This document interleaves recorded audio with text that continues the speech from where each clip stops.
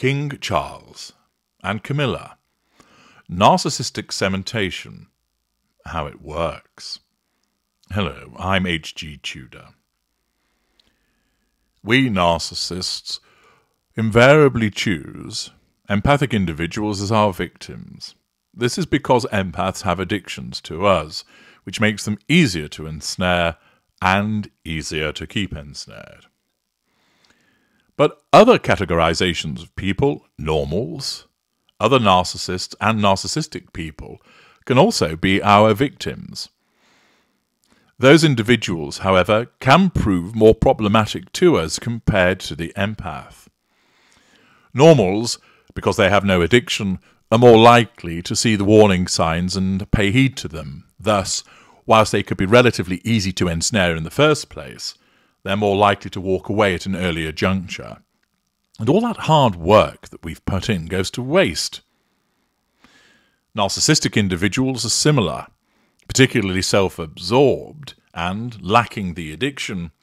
They also can prove problematic in terms of drawing them in and keeping them in check. And therefore, whilst they can be ensnared, and of course can provide the prime aims like any other individual, they're not as a satisfying morsel compared to the empath. But there are instances where narcissists will come together.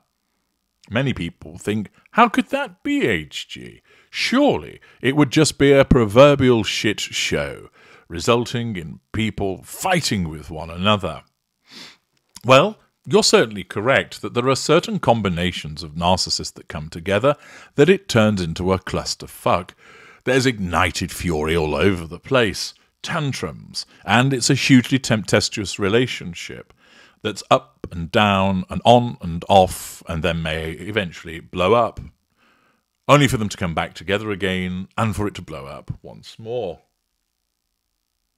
Sometimes those relationships don't last long at all and they don't continue in any shape or form. But there are instances where two narcissists can come together and they stay together. That two narcissists come together and appear to work well together, that they seem to be happy, that they appear to have an enduring relationship. Now, bear in mind, of course, that there are many relationships between narcissist and empathic victim which to the outside world appear to be really good, solid, idyllic marriages. Why?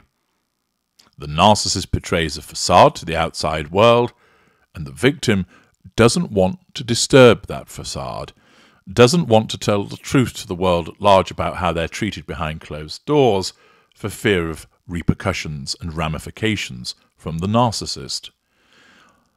Therefore, it follows that if you have two narcissists together that both operate facades, then there is a likelihood that the outside world will look upon them and think, look at that. That's a coupling that works. They may not realize, of course, that the two individuals are narcissists, but the starting point is to understand that where two narcissists both operate with a facade, which they show to the outside world, it means that much of the outside world will then think that is a marriage that's working, that it's enduring, they don't see temper tantrums. They don't see somebody storming out of the house at 11 o'clock at night, shouting at the top of their voice. It isn't the case that that couple are known for the police attending because there's been another bust up where they're both at it fighting hammer and tongs. You don't see any of that because of the necessity of the presence of the facade and its impact upon their behaviour facing outwards. Now, I have explained before that King Charles and Queen Camilla are both narcissists. I don't propose to go into all of the detail as to why that is. I know there are some of you who disagree with me. Well, you're entitled to do so, but you're wrong. There is the evidence that supports that they are both narcissists, and it's detailed and extensive. What I will do is tell you what type of narcissist they are. Charles is an upper mid range elite, which means he operates with a facade, and he operates with a facade of superiority. He's able, for instance, to demonstrate to the outside world an apparent care for the environment, for history, for architecture.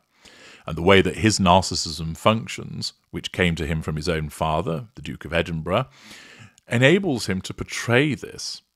But of course, we've seen the various behaviors, the tempers, the lack of patience, the arrogant remarks, and of course the infidelity that occurred.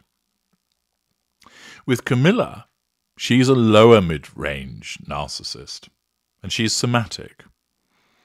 But she also operates a facade, although it's not as quite as effective as his.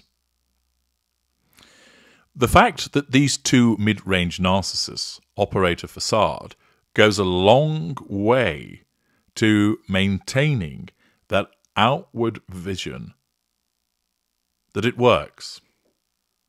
You see, whilst there are empathic victims that may not wish to upset the apple cart, there are also those that break away because they're being abused and they wish to escape. But there are certain instances where the narcissism of the two participants, here Charles and Camilla, in effect recognizes that the sum of the whole parts is better than the individual aspects of the relationship. It remains the case that they both must assert control over one another. After all, they are narcissists. But what happens is that because of the nature of their relationship, the narcissism is not only able to cause them to achieve that, also recognizes that the cementation of the two of them together achieves more than them being separate. Another example of this narcissistic cementation is between Bill and Hillary Clinton. Another example, albeit fictional, was Francis Urquhart, or Francis Underwood in the American version of House of Cards, and his wife. The narcissism of Charles and Camilla necessitates the assertion of control over one another. This will be done sometimes through agreement that they view of an external influence coincides. I've explained to some of you in consultation that sometimes the narcissist will do what you want simply because it coincides with what the narcissist requires in its serendipity. That also happens between two narcissists. And actually, where you have the cementation, this co-alignment of their interests happens with a greater frequency because of the cementation that exists. This means that their narcissism recognizes that by staying together and presenting a united front, it earns more from this. It means that they can control, or the individual narcissist can control more people by having this facade of a settled marriage. The narcissism recognizes that by being able to present to the outside world that they're a partnership, more fuel can be obtained. It provides greater access to character traits and residual benefits. Thus, where two particular types of narcissist come together, the cementation occurs where essentially the narcissism recognizes we are able to gain control over this individual and at the same time we want to maintain the existence of the relationship because it actually serves a much greater purpose. Now, this is not to say that it is all rainbows and unicorns, far from it. There will be instances where they will fall out. Charles may well be in a huff, and therefore he'll decide to go outside and speak to his geraniums. And Camilla will just think, well, I'll let the huffy so and so go. They also have the advantage that they don't necessarily spend massive amounts of time together because they have other demands upon their time, other commitments, other charities, etc. And those periods of time where they're about other matters means that they reduce the risk of threatening one another's control. But essentially, what occurs is that when it comes to an interaction between the two of them, the narcissistic cementation that has occurred acts like a form of glue, which means that whilst they can readily fall out with one another, that harsh words might be exchanged over the breakfast table, that someone might sit in a sullen silence, the fact is that disengagement is far less likely because of the cementation. You know from my other work that there are the five triggers for disengagement. Well, you would think that quite possibly these are more likely to occur when you're dealing with the more volatile narcissist. But the fact is, where narcissistic cementation occurs, it acts almost as a glue to keep the two narcissists together, meaning that if a disengagement trigger was activated, rather than it just go boom and occur, it has to pull against this cement that has originated. And therefore, the narcissism has evolved in a way to keep the two together because it's almost like a grandparent that comes along and says, Look, you two actually work better together than you do apart. Yes, you'll fall out. Yes, you bounce up against one another. But they don't know that out there because of your facade. And it's actually better that you occasionally let off a little bit of steam by having an argument than fall apart. And when the narcissist one and two come together in this way, and cementation occurs, it enables them to present to the outside world that facade. It also means that their relationship is far more likely to endure until death rather than uh, one party disengaging from the other. The triggers, whilst they might be activated, are less likely to take effect. And that's the central aspect of cementation. That whilst they could fall out with one another, whilst they will exchange devaluing behaviors towards one another, to the outside world, none of this is seen, and there's no disengagement, thus they stay together. The narcissism sees that more can be gained by remaining as a unit than falling apart and cements the two together.